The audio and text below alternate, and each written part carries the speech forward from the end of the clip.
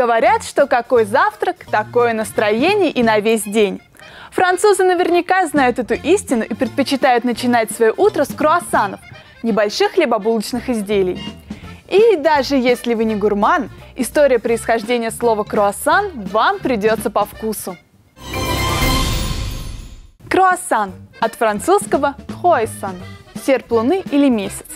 Это кондитерское изделие издавна считается символом Франции – Однако, одна из самых популярных версий происхождения этой булочки гласит, что придумали ее Вене.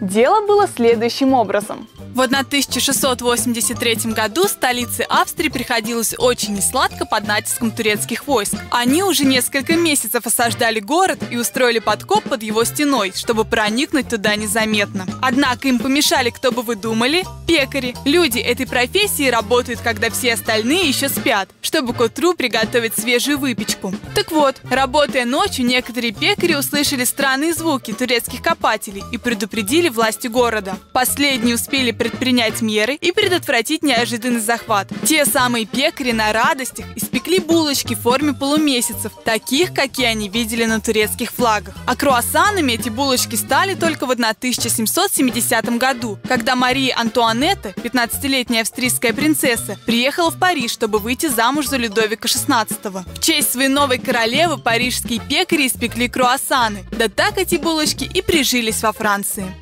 Но свое утро можно начать и более изысканно. Например, с эклеров, одних из самых известных пирожных.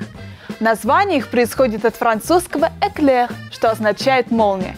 Конечно же, эклеры могут молниеносно доставить удовольствие, но тем не менее версия происхождения слова другая – по легенде, придумал и воплотил в жизнь свою задумку по изготовлению эклера французский кондитер Мари Антуан Карем. Этот знаменитый кулинар за свой изобретательный ум носил прозвище «Повар королей» и «Король поваров». Свое кулинарное произведение он назвал «Молнией», благодаря блестящей глазури, покрывавшей эклеры. Но по другой версии происхождения, эклеры получили такое название из-за простоты приготовления. Они делаются быстро, как молния. Начав свое утро с такого завтрака, вы не только насладитесь вкусом, но и узнаете больше о французском языке. Доброго утра, bonjour!